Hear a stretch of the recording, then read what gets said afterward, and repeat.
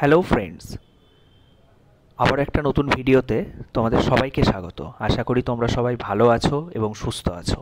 তো আজকের ভিডিওটা আমার সেই সব ভাই বোনেদের জন্য যারা দু হাজার বাইশ সালে জিলেট দিয়েছিলে। ফরটিন্থ অফ মে তোমাদের যে এক্সাম কন্ডাক্ট হয়েছিল, আমি কিছুক্ষণ আগেই তোমাদের একটা কাট অফ রিলেটেড একটা ভিডিও আপলোড করেছি। তো সেখানে অনেকেই আমাকে হোয়াটসঅ্যাপ এবং টেলিগ্রামে মেসেজ করেছ যে, দাদা তুমি তো বলেছিলে কোয়েশ্চেন কঠিন হয়েছে, তো সেক্ষেত্রে বাইশ থেকে আঠাশ কাট অফটা কি বেশি নয়?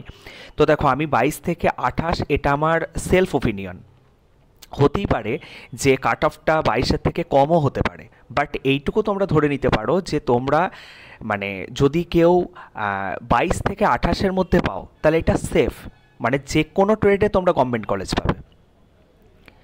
বাট কেউ যদি ধরো আঠারো পাচ্ছ, উনিশ তারা যে গভর্নমেন্ট কলেজ পাবে না আমি একবারও কিন্তু বলিনি। তাদের জন্য বলব যে তোমরা কাউন্সেলিংটা ভালো করে করো। অনেকের ক্ষেত্রে কাউন্সেলিং রং ওয়েতে করার জন্য প্রপার ওয়েতে না করার জন্য অনেক সময় কিন্তু প্রবলেম হয়। দরকার হলে তোমরা আমার কাছে অবশ্যই সেই ব্যাপারে সাহায্য নিতে পারো বা পরবর্তীতে কাউন্সেলিং রিলেটেড ভিডিও আমি আমার চ্যানেলে আপলোড করার চেষ্টা করব। তো যারা আঠারো, উনিশ বা সতেরো পাচ্ছ এবং তারাও পজিটিভ থাকো। তাদের কোন ট্রেড কারণ এটা ট্রেড ওয়াইজ কিন্তু ভ্যারি করবে। আর যেহেতু কমপ্লিটলি নিউ সিলেবাসের কাট অফ তাই এটা এক্সপেক্টেড কথাটাই বলাই ভালো। ঠিক আছে? আমি কোনো বিশাল এক্সপার্ট না যে আমি তোমাকে এটাই বলে দেবো যে টোয়েন্টি ফাইভ পেলেই তোমার হয়ে যাবে। কোয়েশ্চেন লেভেল দেখে আমার যেটা মনে হয়েছে, আমি সে ওপিনিয়নটা শুধুমাত্র বলেছি।